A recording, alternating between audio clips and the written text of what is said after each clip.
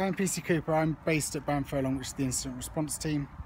I'm one of the officers that now carries the new Samsung S4 Galaxy device. Um, some of the features we have on the Samsung Galaxy, we've done away with the old pocket notebook style, so the old pen and paper we've, we've done away with. So I can now record on my shift what I'm doing, who I've spoken to, um, and other key information on my device.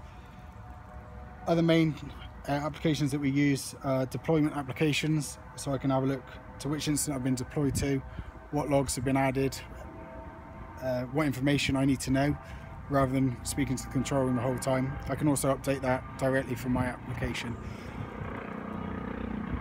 Other applications we have, we can now take statements as we're out and about. So we've also got a keyboard with these devices. So if I need to take a statement from any victim or witness, I just need to plug in the keyboard, I can type away with a statement, sync it to the computer, and then it's ready at the station when I get back uh, to be viewed.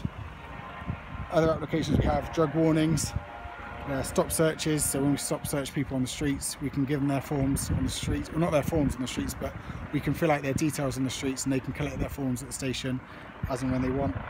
Vehicle tickets, again, as opposed to the old pen and paper, we've got that all to hand on our on our device.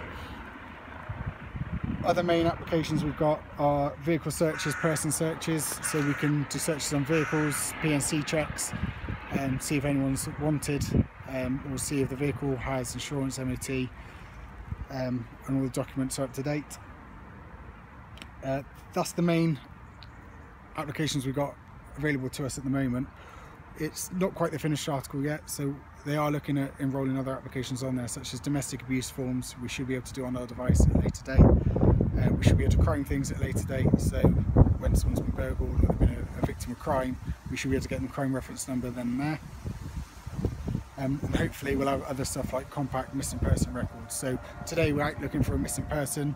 Um, currently we don't have that on our device, but hopefully when it develops, we should be able to find all the information that we need from the device uh, for the person that we're looking for.